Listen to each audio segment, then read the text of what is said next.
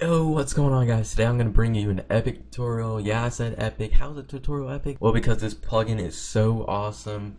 It's probably one of the best plugins I've ever done. So if you don't know what Team Fortress 2 is, basically it's like domination except way better. So on this game there's two teams and they can choose any class out of the classes shown. Basically the red team just has to capture all the points and the blue team has to try to defend them off. So with this plugin, you're going to also want to get two other plugins called Tag API and World Edit. It's not going to work without it, so make sure you have that. Alright, so once you're ready, just go ahead and click download for all of them.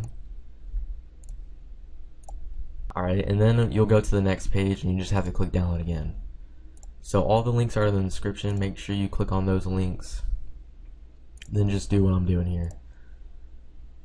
Okay, so you should have three things World Edit is in a zip file. If you don't have WinRAR or 7-zip, make sure you download that. That'll be in the description. But all you have to do for World Edit is just open it up and just drag this worldedit.jar inside your plugins folder. Alright, once you got that, we got World Edit taken care of. Now drag Tag API in there and Team Fortress 2.jar in there.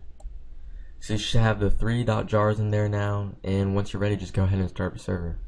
Alright, for this tutorial I'm just going to create my own map because it's not that serious that I have such a huge map. They recommend you download this map called Dust Bowl and it's really made just for Team Fortress 2. But if you download this map, make sure you take away all the command blocks because it could cause some lag if you have it there. And they're kind of, they're just not needed. So that'll be in the description. And once you're ready, we're going to go ahead and go inside our plugins folder. You should see a new folder called Team Fortress 2, TF2. So now just right click on the config.yml, hit edit with notepad or notepad++. I use notepad++, it's a lot easier. That'll be in the description too if you want it. Alright, and the first thing that you should see is countdown. This is in seconds, so this is the countdown to when the game's going to start. So it's going to go down 10 seconds, and then the game will start.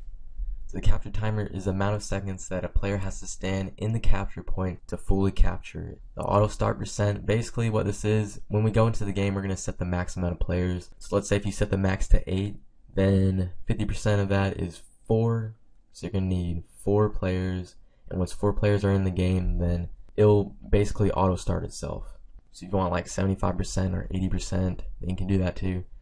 Donor button, no perm. In the game, we're going to have classes, and for the players to select their classes, they basically just have to press a button. And some buttons are donor buttons, basically just buttons for donors only so if they don't have the certain permission, then they can't get that donation class. It's only for donors. And that's just what it'll say. AFK timer is the amount of seconds before a player will get kicked if they're not moving. Kill streaks, 5, auto update. Um, potion effects after start. If you have this on true, then the players have to wait until the countdown is done, the game has started before they can, you know, use their potion effects. Alright, prevent inventory moving, broadcast winning team, map rotation. This this is a cool thing if you want the maps to rotate out, or they can just choose their own maps to play on. Scoreboard, true. You can change a bunch of these things. Kill sound, you can actually change the kill sound. There will be a link in the description for the sounds. They're all right here. You can change it to anything that you want. That'll be in the description. It's going to be a lot of stuff in the description. Stats database. If you have a MySQL database, you can keep the stats in here. Just put your database information there. And then here are the classes. You can actually create your own classes too, and but they already have a lot of classes here. And with these classes already, you can change the armor that it provides. You can also change what's what it comes with. So like it comes with these items here. Can change the potion effect, and there will be a link in the description for all the list of potion effects that you can possibly use, like confusion, regeneration, stuff like that and you can also change the enchantments. There will be a list of enchantments in the description too. So that's all up to you guys. If you want to create a new class, all you have to do is enter in a new line, backspace all the way, then line it up to where all the other classes are. So that's about two spaces. So after you're back here, just space twice and then type the name of your class, hit colon. Basically you just copy format of all the rest. Once you're done, just hit save, reload, restart your server, and then we're going to head on Minecraft for the setup. By the way, from what I explained about the donors button, you're going to want to give this permission to the donators class or whatever rank you have for the donators. You're going to want to give them that so they can use the donator classes. And then, of course, give the rest of the permissions to your normal players and default players. And once you're ready, we're going to actually go ahead and get started with the setup now. Alright, so once you're in Minecraft server, you're going to need a couple things. The first thing you're going to need is a global lobby. This is going to be the lobby for all of your maps, every map that you create. This is where the players go to find a map that's on a sign and right click to join it.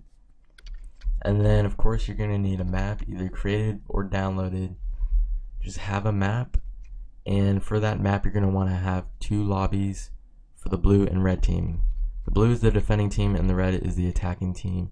So just make sure you have those two lobbies for your map and then inside of your map, you're going to also want to have capture points. These capture points are where the red team will go, stand here, wait 5 seconds, or whatever you set in the config file, and then that point will be captured.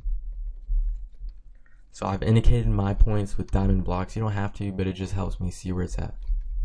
So once you're ready, we're going to go ahead and get started with the commands. The first command is to set the spawn of our global lobby. So just go to the global lobby, stand in there anywhere, and then just type command slash tf2 set spawn lobby. Alright, should have set the global lobby. Now the next thing we're going to do is we're going to select the whole map and then create the name for it. So just type command slash slash wand and this will pull out the wand tool. Basically we're to start from the top and then go to the bottom we're to first left click for the position one at the top corner, any top corner. So just left click on that. I already have it selected, so that's why it's not showing up.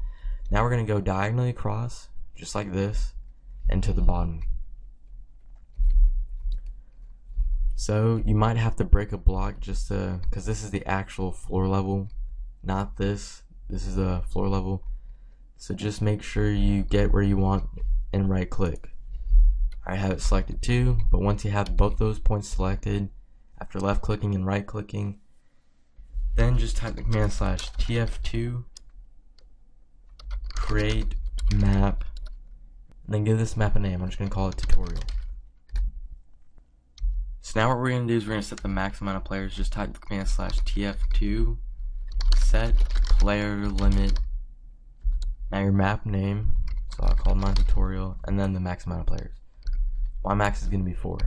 Just hit enter and it should work. So now we're going to set the delay for the red team before they can start. And obviously because they're attacking and we want to give the blue team some time to set up, that we're going to want to put some seconds for them to be delayed. So just type the command slash tf2 set red tp the map name and then the amount of seconds. So I'll give the blue team 30 seconds to set up before the red team can spawn. And just hit enter.